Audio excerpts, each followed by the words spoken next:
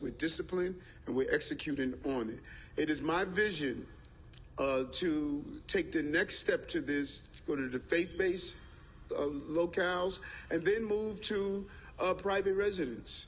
Uh, there are residents who are suffering right now because of economic challenges. They have spare rooms, uh, they have locales, and if we can find a way to get over the 30 day rule and other rules that government has in, in its place, we can take that $4.2 billion, 4.3 even maybe now, that we potentially would have to spend, and we can put it back in the pockets of everyday New Yorkers, everyday houses of worship, instead of putting it in the pockets of corporations.